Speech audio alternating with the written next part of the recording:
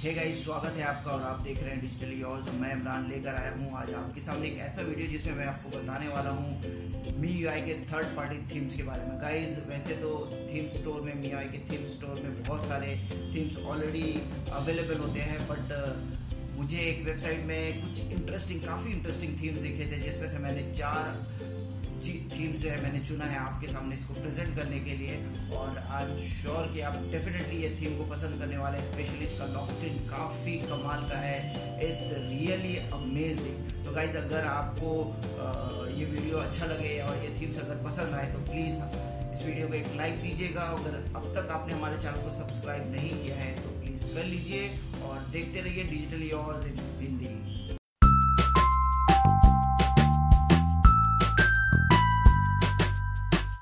guys वैसे तो store में बहुत सारे थीम्स ऑलरेडी मियाँ के स्टोर में बहुत सारे थीम्स ऑलरेडी मौजूद है बट मुझे अचानक से एक वेबसाइट में कुछ थीम्स मिले और ये थीम जो है मियाँ स्टोर में अवेलेबल नहीं है तो उन, उनमें से तीन थीम जो है एक्चुअली चार थीम्स जो है मैंने यहाँ पे सिलेक्ट किया है और वो आपको दिखाना चाहूँगा। उसमें से एक थीम है, इसका नाम है ट्रांसफार्मर और ये ट्रांसफॉर्मर ये चाइनीज़ में लिखा है, लेकिन जब आप dot M T Z file download करेंगे तो वहाँ से तो आपको इसका नाम दिख जाएगा। मैं लिंक दे देता हूँ नीचे डिस्क्रिप्शन में।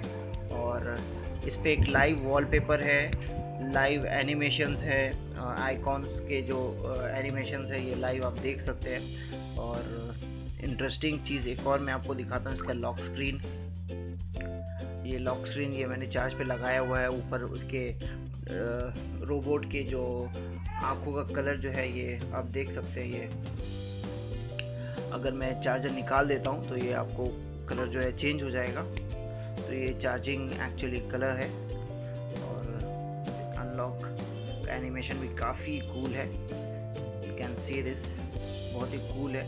आप अनलॉक कर सकते हो कॉल और एसएमएस डायरेक्ट कर सकते हो। तो अब मैं दूसरा आपको थीम दिखाता हूँ, जो मेरा कलेक्शन है। गैस ये दूसरा थीम जो है, इसका नाम है रोबोट आर्मी और ये अवेलेबल नहीं है स्टोर में। इसको डाउनलोड करने के लिए भी मैंने डिस्क्रिप्शन में जो लिंक दिया है, वहाँ मिल जाएगा। आप वहाँ सर्च कीजिए। वहाँ ज़रूर मिल जाएगा। वहाँ तीस चालीस थीम्स है। उसमें से ये एक थीम है, जिसका मैंने लिंक दे दिया है नीचे। और रोबोट आर्मी ये ये थीम भी पहले जैसा ही है और वो वही फील देता है, जो पहला थीम देता है। और ये दोनों थीम का इंटरेस्टिंग पार्ट मुझे वो लॉक स्क्रीन लगा देखिए काफ़ी कूल लॉक स्क्रीन है। और जैसे मैंने चार्ज पे लगाया, यहाँ पे आपको येलो एक बैटरी जैसा या दिख रहा है तो मैं अनप्लग करता हूँ अपने चार्जर को तो ये एनिमेशन जो है वो स्टॉप हो जाता है। तो वापस से चार्ज पे लगाया। ओके ये येलो आपको दिख रहा है यहाँ पे, बैटरी जैसा कुछ। ओके तो ये भी काफ़ी cool lock screen in fact काफ़ी कूल है। आप चाहो तो सिर्फ़ लॉक स्क्रीन में ये थीम इस्तेमाल कर सकते हो, बाकी अब अपना कोई दूसरा थीम आप इस्तेमाल कर सकते हो। तो गाइज़ अब नेक्स्ट थीम देखते हैं। मेरा चार पिक में से ये दो पिक हो चुका है। मैं दो और आपको दिखाता हूँ।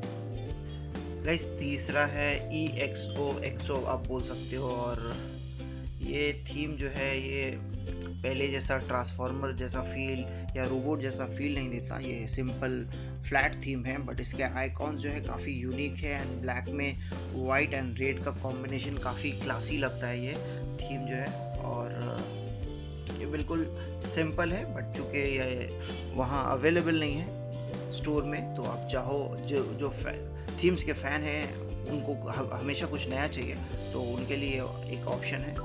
लॉक स्क्रीन पे आप सिंपल ये आई थिंक कोई वहाँ का फुटबॉल प्लेयर या आई डोंट नो ये कौन है तो फ़ोटो के साथ आप लेफ़्ट में स्वाइप करेंगे जब लेफ़्ट साइड में तो आपको ये विज़िट दिखेगा। ओके तो ये अनलॉक का बटन है। तो ये तीसरा थीम है, आप इसको ट्राई दे सकते हो। और अब चौथा थीम दिखाता हूँ मैं। गैस ये चौथा थीम जो है, इसका नाम आई एम सॉरी मैं भूल गया बट मैं नीचे डिस्क्रिप्शन में आपको दे दूँगा। ये वही थीम है और चाइनीज़ में यहाँ कुछ लिखा है बट मैं इसका डॉट एम टी जेड का जो फ़ाइल का नाम है, वो मैं दे दूँगा, वो इंग्लिश में है। और ये थीम बिल्कुल प्लेन और फ्लैट है, बस जो इसमें मुझे अच्छा लगा वो इसका लॉक स्क्रीन है। लॉक स्क्रीन में एक पूरा एनिमेशन है, जिसके आप ये विंडो को ओपन कर सकते हैं।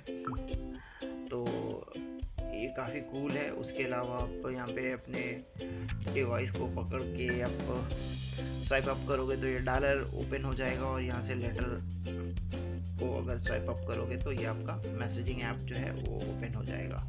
तो इसका भी एनिमेशन मुझे थोड़ा सा डिफरेंट लगा, इसलिए मैंने यहाँ पे पिक किया और आपके साथ शेयर किया।